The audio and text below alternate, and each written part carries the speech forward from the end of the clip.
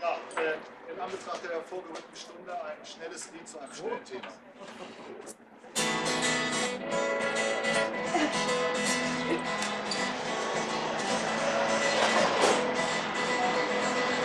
Ich habe kein Mofa oder Mokik zu Hause. Zum Auto reicht bei mir das Geld nicht aus. Motorradfahren wird kritisch, wenn es schneit. Und ein Lastwagen ist mir viel zu breit. Ich fahre Rennrad, ich fahre Rennrad den ganzen Tag. Als ich ein Kind war, fing das Leben an, als ein Rennrad zum Geburtstag bekam. Ich wollte eigentlich einen Go-Kart haben, doch mit dem Rennrad kann man schneller fahren. Ich fahre Rennrad, ich fahre Rennrad den ganzen Tag. Ei, wie schön meine Klingel klingt und wie schön auch mein Rennrad klingt. Bin ich erst mal im zehnten Gang, weiß ich, dass mich kein Dreirad überholen kann. Und sonntags gehe ich dann in den Keller, ich mein Rennrad immer noch schneller.